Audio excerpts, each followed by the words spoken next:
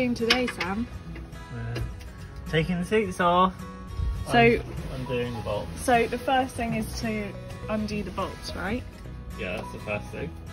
So we're just using some WD-40 to loosen the bolts before we take them off because they're a bit stiff.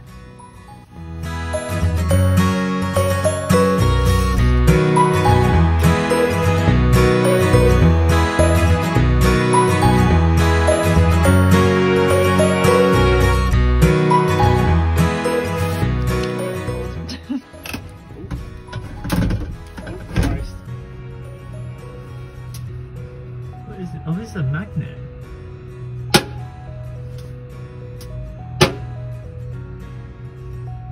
Did we break something off? So we've just taken the seat off and we snapped something in the process. Not quite sure what this is. It's magnets stuck onto the plate.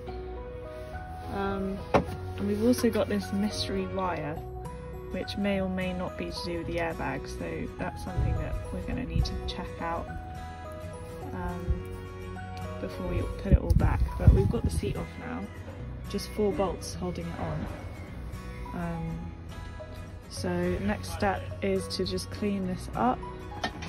So we're just, what are these things called? I have no idea. It's just the brackets that attach the chair to the base. We're just taking, well I say we, Sam is just taking the brackets off the bottom of the chair because we need to take these off before we put the seat runner on the chair. And it's a bit fiddly but we've worked out that you have to undo the, are they bolts? Yeah. the bolts um, clockwise uh, to get them loose. So it's a bit of a fiddly job, but that's what Sam is doing right now.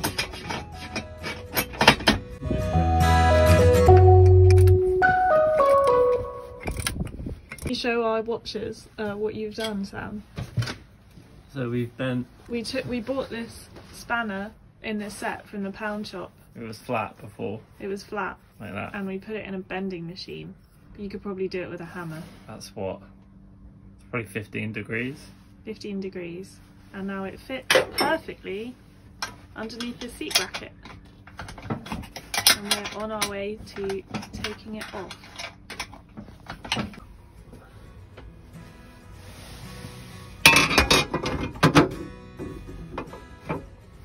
To put the plate on top of the seat base we've kept these little screws on here and then just um, you just shove it on for a sec.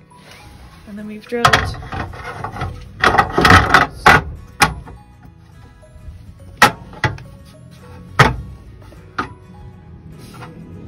bit stiff. Oh, you okay? Yeah, this is it's oily, isn't it? Yeah. Um, so we've drilled holes that these screws go through the holes. And then we'll fix the nuts on top. Yeah. So we got the swivel plate on now, um, but we're just gonna have to cut this off because it's getting in the way of the seat when it turns. Um, so after that's done, we should be able to turn it for 180 degrees.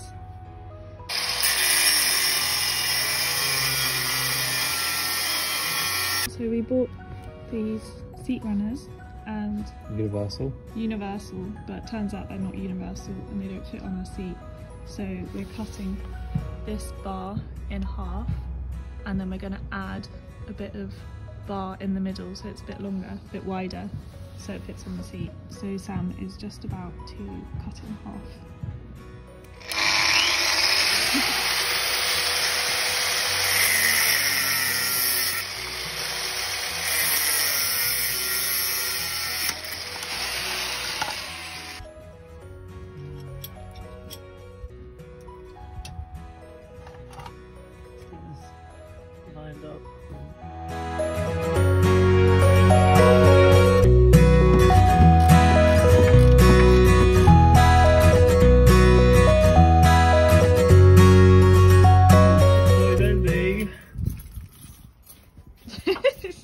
Is that it? I thought you were going to spin around. Woo!